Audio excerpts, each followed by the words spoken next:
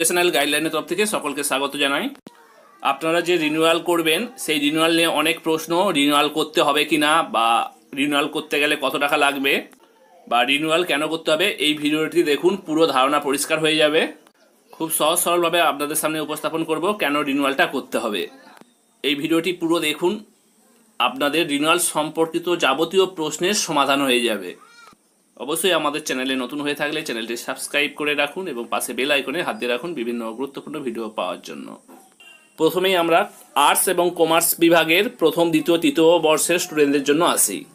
যে সকল BTP candidate Bangla honours ইংরাজি অনার্স ইতিহাস অনার্স এবং political science public administration sociology education economics এবং কমার্স নিয়ে বিডিপি কোর্স করছেন। প্রথম বর্ষ, দ্বিতীয় বর্ষ, তৃতীয় বর্ষ। তাদের রিনিউয়াল ফিজটা কত? কীভাবে ক্যালকুলেশন করবেন? এই যে ওনার সাবজেক্টগুলো এই ওনার সাবজেক্টের টোটাল কোর্স ফি হচ্ছে আট হাজার চারশো টাকা। আপনারা যখন বিডিপি কোর্সে ভর্তি হয়েছিলেন, আপনাদের মনে থাকবে সেই সময় আপনারা পেমেন্ট করেছিলেন তিন হাজার টাকা। অর্থাৎ এই অ্যামাউন্টটা পেমেন্ট হয়েছিল অ্যাডমিশনের সময়। তাহলে টোটাল কোর্স ফি আট হাজার চারশো থেকে তিন হাজার পেমেন্ট হয়ে গেছে, তাহলে বাকি থাকে পাঁচ হাজার চারশো টাকা। এই পাঁচ হাজার চারশো টাকা আপনাকে তিন বছরের মধ্যে পেমেন্ট করতে হবে রিনিউয়ালের মাধ্যমে। আবার এই পাঁচ হাজার চারশো টাকা আপনারা দুটো ইনস্টলমেন্টে দিতে পারেন। সেটাকে বলা হচ্ছে ফার্স্ট রিনিউয়াল এবং সেকেন্ড রিনিউয়াল দেখুন এখানে আট হাজার চারশো টাকাকে তিনটে ভাগে ভাগ করা হয়েছে। এই কলমটা দেখুন, এটা হচ্ছে আপনি যখন ভর্তি হয়েছিলেন অ্যাডমিশন হয়েছিল, সেই সময় তিন হাজার টাকা পেমেন্ট হয়েছে। এরপর দেখুন, উপরে লেখা আছে সেকেন্ড ইয়ার অর্থাৎ ব্যাকেটে লেখা আছে দেখুন one third of total course fee plus studentship fees অর্থাৎ এক ভাগ এ ওয়ানে নেওয়া হয়ে গেছে আর এক ভাগ নেওয়া হচ্ছে এ টুতে অর্থাৎ দু ভাগ নেওয়া হয়ে গেল এ টুতে কত নেওয়া হবে? একুশশো টাকা প্লাস ছশো টাকা টোটাল সাতাশশো টাকা। আর যেটাকে আমরা বলছি পেমেন্ট করতে গেলে ওখানে ব্যাঙ্কিং চার্জ পঁয়ত্রিশ টাকার মতো যোগ হবে। অর্থাৎ সাতাশশো পঁয়ত্রিশ টাকার মতো পেমেন্ট হতে পারে, একটু কম বেশি হতে পারে। এই সাতাশশো পঁয়ত্রিশ টাকা পেমেন্ট হওয়া মানে আপনি টোটাল কোর্স ফি দুভাগ দিয়ে দিলেন। আর এটাকেই বলা হচ্ছে ফার্স্ট রিনুয়াল ফার্স্ট রিনুয়াল কখন হচ্ছে? এখানে দেখুন লেখা আছে সেকেন্ড ইয়ার যারা এখন ফার্স্ট ইয়ারের স্টুডেন্ট সেকেন্ড ইয়ারে উঠবেন, সেই জন্যে এটা সেকেন্ড ইয়ারের জন্য রিনুয়াল ফিজ যেটাকে বলা হচ্ছে ফার্স্ট রিনুয়াল এই ফার্স্ট রিনুয়ালটা আপনি না করলে হয়তো টার্ম অ্যান্ড এক্সাম অর্থাৎ প্রথম বর্ষের পরীক্ষাটা দিতে পারবেন, কিন্তু সমস্যাটা হবে এই জায়গায় আপনি দ্বিতীয় বর্ষের পরীক্ষা দিতে পারবেন না যদি সেকেন্ড ইয়ারের এই রিনিউয়ালটা না করেন। শুধু তাই নয়, আপনি সেকেন্ড ইয়ারে যে উঠলেন, উঠার জন্য যে বইটা পাবেন, সেই বইটা আপনি পাবেন না।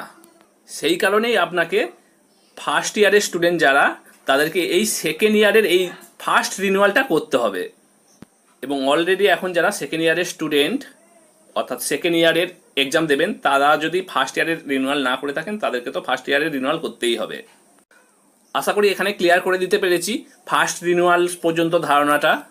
তাহলে ফার্স্ট রিনিউয়াল পর্যন্ত টোটাল কোর্স ফি নেওয়া হলো আট হাজার চারশোর মধ্যে পাঁচ হাজার সাতশো।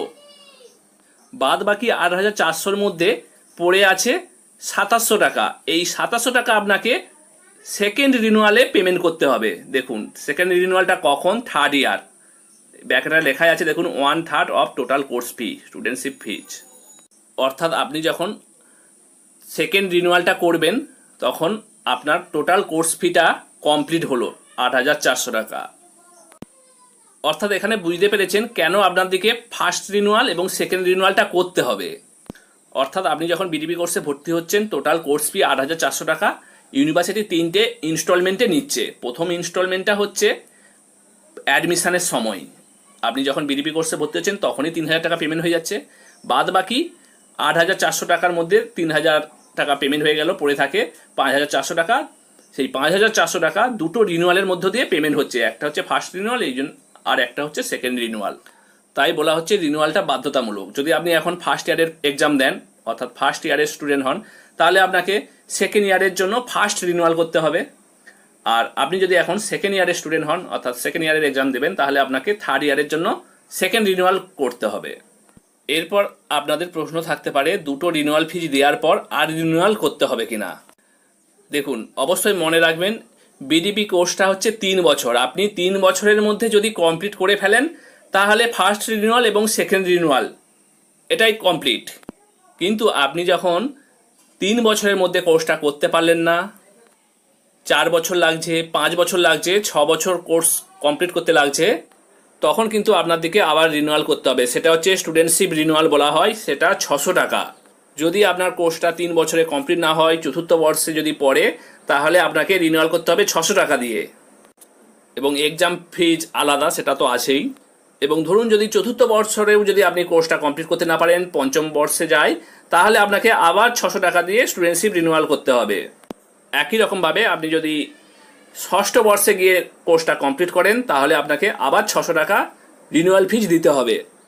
অর্থাৎ বাংলা অনার্স, ইতিহাস, অনার্স, এই সব সাবজেক্ট নিয়ে যারা বিটিপি কোর্স করছেন, প্রথম বর্ষ হোক, দ্বিতীয় বর্ষ হোক বা তৃতীয় বর্ষের স্টুডেন্টরা তারা যদি তিন বছরের মধ্যে যদি কোর্সটা কমপ্লিট করে নেন, তাহলে টোটাল ফিজ হচ্ছে আট হাজার চারশো টাকা। কিন্তু আপনি যখন তিন বছরে কমপ্লিট করতে পারলেন না, সর্বোচ্চ ধরলাম ছ বছরে গিয়ে কমপ্লিট করলেন, তাহলে আরও আঠেরোশো টাকা বেশি দিতে হবে। কারণ চতুর্থ বর্ষ, পঞ্চম বর্ষ এবং ষষ্ঠ বর্ষের জন্য ছশো ছশো ছশো, অর্থাৎ তিন ছয় আঠেরোশো টাকা আরও বেশি পেমেন্ট করতে হবে। এবং সেই সঙ্গে এক্সাম ফর্ম ফিল আপও করতে হবে। সেই কারণেই বলব রিনিউয়াল ঠিক সময়েই করুন মিস করবেন না। কারণ মিস করলে আপনি একটা ইয়ারের এক্সাম দিতে পারবেন না। তাহলে তখন আপনার ইয়ার বাড়ছে, তখন চতুর্থ ইয়ারে গিয়ে পৌঁছলে আবার রিনিউয়াল ফিজ স্টুডেন্টশিপ রিনিউয়াল ছশো টাকা করে বেড়ে যাবে। তাই বলব ফার্স্ট রিনিউয়াল এবং সেকেন্ড রিনিউয়াল কেউ মিস করবেন না। আর রিনিউয়াল মিস করলে আপনি এক্সাম দিতে পারবেন না স্টাডি বুক পাবেন না, সেক্ষেত্রে আপনার ইয়ার লস হবে।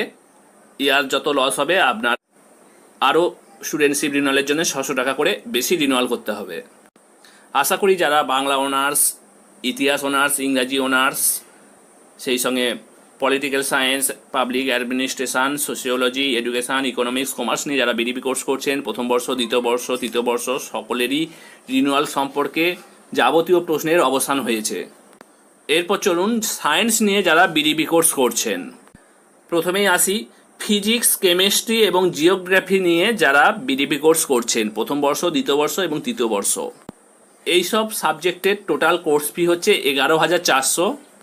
সেই এগারো হাজার চারশোর মধ্যে প্রথম অ্যাডমিশনের সময় আপনার পেমেন্ট হয়েছিল চার হাজার টাকা। বাদ বাকি টাকা দুটো রিনিউয়ালের মধ্যে দিয়ে পেমেন্ট হবে। ফার্স্ট রিনিউয়াল এবং সেকেন্ড রিনিউয়াল এবং তিন বছরের মধ্যে যদি কোর্সটা কমপ্লিট না করেন, সেক্ষেত্রে আপনার সর্বোচ্চ ছ বছর যদি সময় লাগে, সেক্ষেত্রে প্রত্যেক বছরের জন্য অতিরিক্ত ছশো টাকা করে স্টুডেন্টশিপ রিনিউয়াল করতে হবে, যেটাকে বলা হচ্ছে স্টুডেন্টশিপ ফিজ এরপর জিওলজি এবং বোটানি নিয়ে যারা বিডিপি কোর্স করছেন, তাদের টোটাল কোর্স ফি হচ্ছে চোদ্দ হাজার আটশো আটানব্বই টাকা।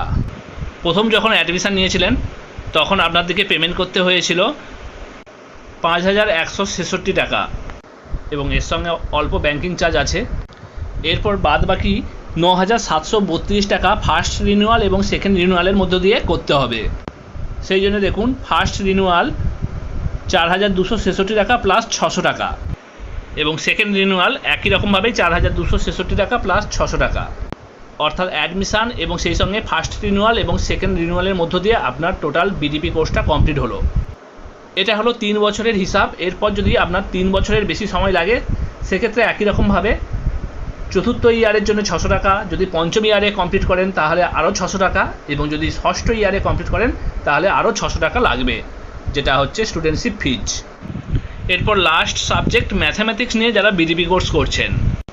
ম্যাথামেটিক্স নিয়ে যারা বিডিপি করছেন, তাদের দু রকম অ্যাডমিশান ফিজ যাদের কম্বাইন্ড সাবজেক্ট হিসাবে ফিজিক্স বা ল্যাব বেসড পেপারগুলো আছে, তাদের ক্ষেত্রে কোর্স ফি হচ্ছে চোদ্দ হাজার আটশো আটানব্বই টাকা। অর্থাৎ অনেকটাই বেশি এবং যাদের কম্বাইন্ড পেপার পল সায়েন্স আছে, তাদের ক্ষেত্রে এগারো হাজার চারশো টাকা।